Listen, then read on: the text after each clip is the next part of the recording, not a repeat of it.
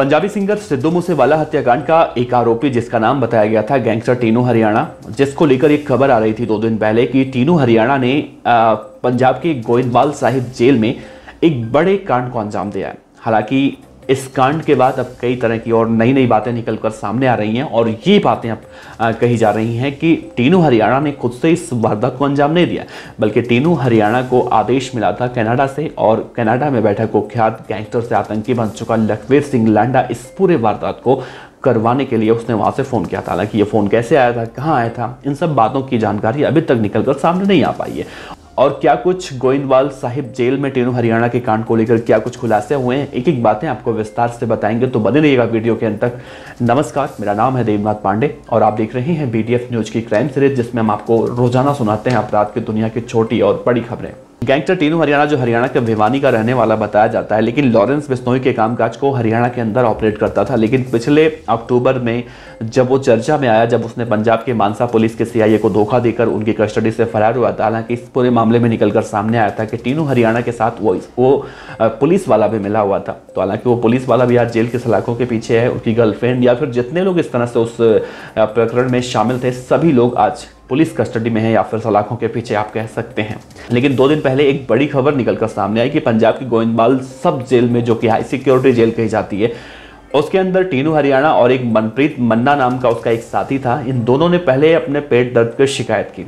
जो गार्ड वहाँ पर मौजूद था, संतरी, वो इन दोनों ही बदमाशों को उसके बाद जो जेल में अस्पताल बने होते हैं, वहाँ पर ले जाने की कोशिश करने लगा। लेकिन जब तीनों हरियाणा अपने साथी के साथ जेल में बने अस्पताल में जा रहा था तो अभी वहाँ से वो फरार होता है, वापस बैरक में आता है और अपने विरोधी गैंग के बदमाशों को बीस से पच्चीस लोगों की संख्या में ये हो जाते हैं सब और उससे मिलकर मारने लगते हैं। और तब तक मारने की कोशिश करते हैं, जब तक उन्हें बहुत ज़्यादा चोटें नहीं लग जाती हैं। तो इस पूरे मामले में निकलकर सामने आया कि जो जेल का उस समय संतरी था, गार्ड था, जो इन लोगों को लेकर जा रहा था, उसने भी बचाने की कोशिश की। लेकिन तीनों हरियाणा ने जब देखा कि ये संतरी भी बचाने की कोशिश कर रहा है तो उसने चम्मच से बने हुए हथियार जो चम्मच को रगड़ के जेल के अंदर ये बदमाश घातक हथियार बना लेते हैं तेज धारदार हथियार बना लेते हैं, जिससे किसी को भी घायल किया जा सकता है। तो उसने उस पुलिस वाले को भी बहुत बेरहमी से मारा, हालाँकि उससे चोट ज़्यादा आई है, उसे भी अस्पताल में एडमिट कराया गया है।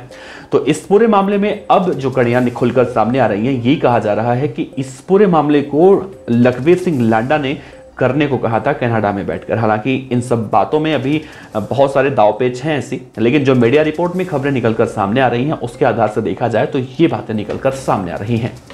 तीनों हरियाणा ने जिन बदमाशों को मारा था, उसमें से करणप्रीत सिंह, जो कि कुक्की ढाब का जलंधर का रहने वाला था, उसकी माँ कुलदीप कौर ने पंजाब के मुख्यमंत्री भगवंत मान को एक लिखित शिकायत दी है और आरोप लगाया है कि कनाडा में बैठे आतंकी लखवीर सिंह के इशारे पर बड़ी साजिश के तहत जेल के अंदर इन गैंगस्टरों ने उनके बच्चों को मारने की कोशिश की है। साथ ही उन्होंने ये भी आरोप लगाया है कि केंद्रीय जेल गोविंदवाल साहिब जेल में करीब 200 से ज़्यादा खूंखार गैंगस्टर जो हैं, वो इस वक्त सजा काट रहे हैं। पंजाबी सिंगर सिद्धू मूसेवाला हत्याकांड से जुड़ा हुआ गैंगस्टर दीपक टीनो और उसके साथी मनदीप सिंह मन्ना ने अपने करीब 25 साथियों के साथ मिलकर जो उनके बच्चों पर हमला किया था, उस हमले में उनका बेटा करणप्रीत सिंह फतेह और उसके दो दोस्त, जिसका नाम मनीष और अमन बताया गया था। इसके अलावा एक, जैसा मैंने कहा कि जेल कर्मी भी घायल हो गया था।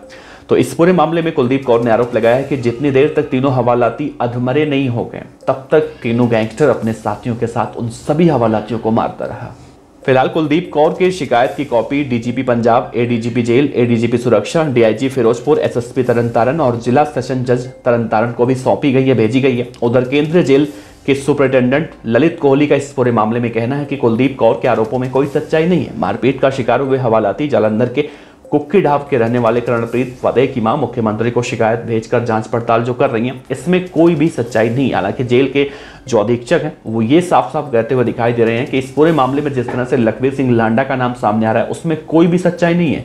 ऐसे में अब देखना अहम होगा कि टीनू हरियाणा जिस तरह से जेल के अंदर बंद है और जेल के अंदर बंद रहने के बाद भी वो इस तरह की वारदातों को अंजाम देता है। तो क्या गैंगस्टर टीनो हरियाणा को इस तरह से खुलेआम देखा जाए तो एक जो हाई सिक्योरिटी जोन या फिर हार्ड कोर क्रिमिनल जिस बैरक में रखे जाते हैं, उन बैरकों में रखने की ज़रूरत है या फिर इस तरह से उसके विरोधी गैंग के बदमाशों के बीच में रखने की ज़रूरत है, जहाँ पर वो किसी के साथ भी इस तरह की वारदातों को अंजाम दे सकता है। तो फ़िलहाल इस पूरे मामले की जाँच पड़ताल की जाने की बात कही जा रही है, लेकिन लेकिन सवाल वही है कि यही वो गोइंदबाल साहिब की जेल है, जिसे हाई सिक्योरिटी जेल कहा जाता है। और इसी जेल से प्रोडक्शन वारंट पर मानसा सीआईए का इंचार्ज प्रीतपाल सिंह टीनू हरियाणा को प्रोडक्शन वारंट पर लेकर गया था। और यहीं से उसके पूरे भागने की जो पटकथा लिखी गई थी, इसी जेल से लिखी गई थी। लेकिन अब विडंबना देखिए, वापस पकड़े जाने के बाद टीनू हरियाणा इसी जेल में एक बार फिर से चला गया है। और यहाँ पर जबकि जानते हुए कि टीनू हरियाणा काफ़ी सालों से बंद था तो सीधी सी बात है, ज़ाहिर सी बात है कि यहाँ पर उसके कहीं ना कहीं आप कह सकते हैं जिस तरह से लॉरेंस